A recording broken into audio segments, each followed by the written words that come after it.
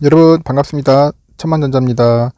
어, 현재 삼성전자 흐름이 아주 좋아요. 86,200원 정도 지금 하고 있고요. 한 3.73%, 한 3.8%네요. 벌써 잘 올라가고 있습니다.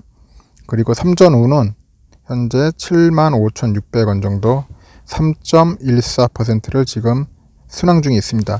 오늘 삼전이 상당히 나름 선방을 잘 하고 있어요. 근데 아쉬운 거는 아 좀 전에 떨어졌을 때 샀어야 하는데 매수를 하지 못한 분들 이때 매수를 하지 못한 분들이 상당히 아쉬워할 것 같습니다. 벌써 뭐 3% 이상이 올라가 버렸으니까 선뜻 매수하기가 힘들 거예요. 버튼 누르기가. 하여튼 그 시장 상황이 좀 뜨거워 좋아요.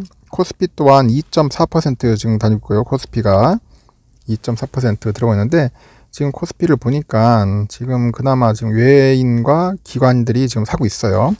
외인이 1370억, 기관이 469억 정도를 지금 매수하고 있고 개인은 지금 매도하고 있네요. 1700억. 그래서 코스피도 지금 현재 2.38% 상승해서 3129포인트를 지금 찍고 있습니다. 아, 장 흐름은 나쁘진 않을 것 같고 오늘 삼성전자 잘하면 3% 이상을 유지해가지고 어, 3, 8, 86,500원까지 가지 않겠나 하는 기, 뭐 기대를 가져봅니다.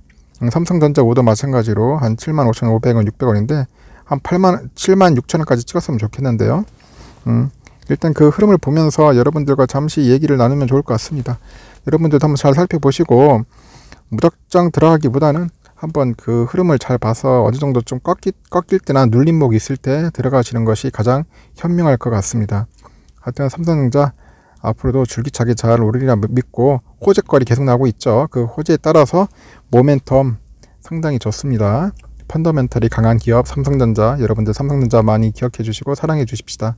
그리고 삼성전자 어, 만약에 여러분들이 사실 때는 항상 저점이나 좀 싸다고 느낄 때는 적극적으로 이렇게 매수해 주시면 좋을 것 같습니다. 이상 천만전자였습니다.